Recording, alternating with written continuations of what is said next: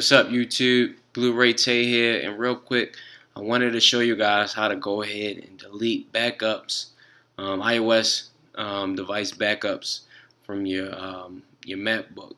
Um, I know it's very hard to find where the actual backups are located on your uh, on your MacBook and a lot of times they do take up a lot of space and you're never gonna um, restore to a previous backup you might, might as well go ahead and get rid of it.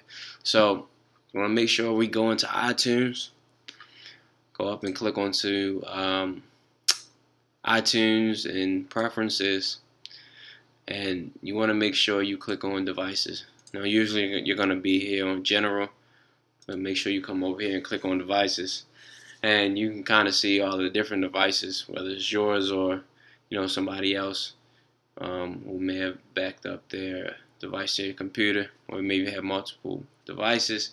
But you can see the different dates and the times in which you uh, backed up your devices. So I have some all the way back to February actually two of the same exact backups. So I know I, I'll never be uh, using them. So you can either click on it and go ahead and click delete backup. If you want to actually find the file path in which the uh, actual files are go ahead and right click and click show in finder.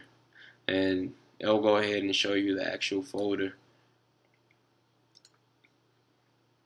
The backup folder and you can see all the different backup files that you have just in case you wanted to you know get into the meat.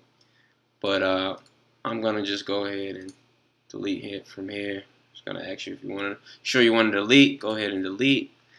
And um, I would think it would come up in the uh, trash, but I guess not.